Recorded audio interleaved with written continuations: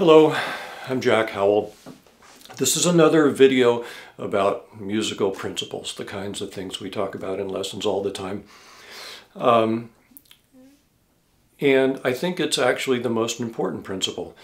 Uh, we're going to talk about attacks and releases of notes and of phrases. It's the kind of thing that a lot of students uh, leave to the end there, we've got to learn all these dang notes. We've got to learn all this hard stuff in the middle, and then we'll we'll tidy up the, this other stuff later. And I think that's backwards. Um, I think the ability to directly connect your most beautiful tone to the silence is a vital fundamental in wind playing. And the saying that I think encapsulates it best comes from the great flutist and teacher Trevor Wye. Uh, two of the favorite, my favorite flutists uh, in my career uh, were students of, of Mr. Wye's. Uh, one is Bob Bush, who was principal in New Mexico for a while while I was there, and the other is my wife. So uh, Trevor Wye doesn't know it, but he's had a great influence on me. One of the things he said is the note before the breath must be the most beautiful note. And the note after the breath must be the most beautiful note. So let's, let's hold that thought in mind as, as we talk about attacks and releases. Um, we wouldn't be talking about it if this principle weren't violated with some frequency. And this violation, these violations I'm going to divide into two categories. Uh, the first category being musicians who have the technique to employ it, but don't. And the other is uh, musicians who have not yet acquired the technique necessary to employ it. In the first category, there, there are some really wonderfully accomplished musicians um, who have acquired the habit of, of giving the note before a breath or before any pause a, a little kick, Give, just giving a little giving giving a little jump either as part of the of the mechanism of and then and then grabbing a breath or just just becoming a habit and it's probably understandable with professionals because they don't have teachers uh, in their ear reminding them uh, about, about bad habits. But when you hear something like this,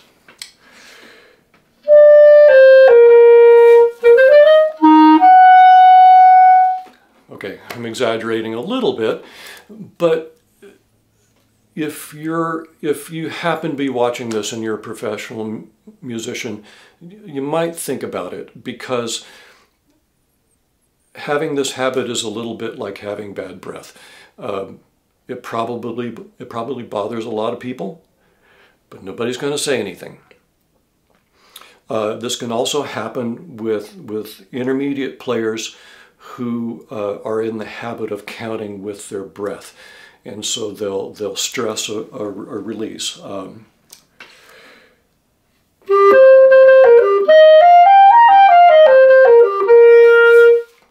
things like that.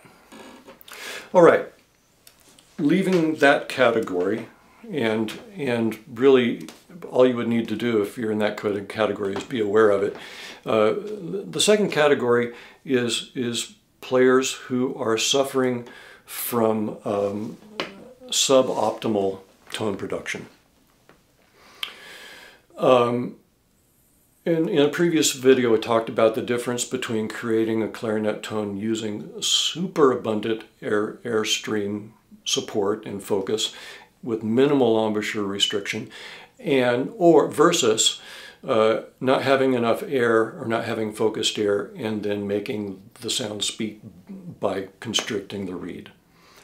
So listen to yourself as you play. If you can't start the tone without putting your tongue on the reed, if you can't start the tone uh, without kind of a runway so that you so that the you, there's a sibilance and then the tone catches. Um, if you can't start the tone without immediately taking a breath before and then and then having a reflexive response to that breath, then this video is for you. Um, on the other end of the phrase, if you can't um, if you can't end a phrase without kind of jumping off while the phrase is still in motion, or if in order to end a phrase you need to add some kind of like dither, some a little bit of vibrato or something, or if um, the end of the note kind of fuzzes out or, or goes sharp, then this, this video is for you and this drill is for you. The drill I call the center of the steak drill, uh, as in beef. And I apologize to vegetarians, but the image is to find the very best part of your tone and then connect that very best part of your tone to the silence exactly when you want and exactly the dynamic and with the intonation that you want. So this drill begins with a long tone. And when we play a long tone, we want to, to, be very aware of our airstream focus. We want to be very aware of our oral cavity. We want, want to be very aware of embouchure pressure or embouchure tension. And if you're not aware of those things, I would refer you to the, the, the, the double tone drill. Um, so we play our very best sound, long tone, most beautiful note on the clarinet, whatever you consider that to be. And then we do one thing and one thing only. We stop the air, we replace the air. It's very important that you monitor yourself and be aware of, of any tendency to add a little bit of embouchure pressure to start the note or to um, or to, to, try a little bit of tongue on the reed to just kind of kick it and start it. Um,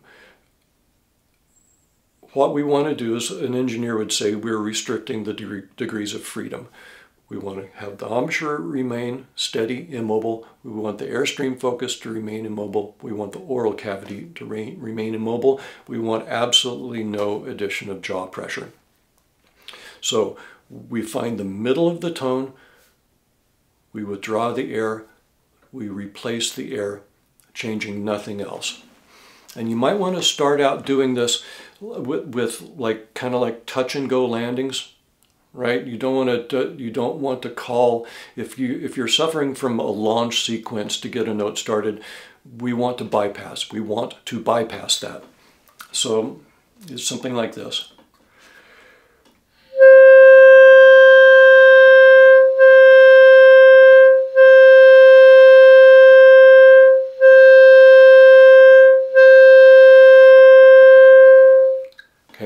So you hear that there's, and I'm being very aware not to press, not to do anything, to just stop the air and replace the air. If you can do that without any consonants, without any accent, without any, without any ha, um, sibilance, any, any sound before the, before the note speaks, then you're doing it right and then you want to do that in different registers, at different uh, dynamic levels, and then you want to work it into phrases uh, and, and make sure that, that every phrase begins cleanly and that each phrase ends cleanly. Now, do we always use this, this kind of attack? Yes, yes we do, always. That doesn't mean that we don't change the character just like in speech, we, we may begin phrases with an accent when the music calls for it. We, we may end the phrase strongly when the music calls for it. But in any case, um, the, we are using this ability to immediately access our very best sound. Um, and a lot of, of teachers uh, have have said similar things. Um, the the uh, Russ Dagon said that tone and articulation are two sides of the same coin. Robert Marcellus said that the stopped articulation is a matter of making your very best sound instantly. So this this um, this this tone production efficiency is what we need for, for rapid articulation. It's what we need for wide dynamic range. It's what we need for fluid, rapid legato passages. And I have found in years of teaching, it's kind of spooky, but any phrase that begins with that really clean, pure attack blooms in a way that the same phrase played with a ragged attack never will. It's not linear. Uh, I, I, can't explain it, but it's but it's it's true.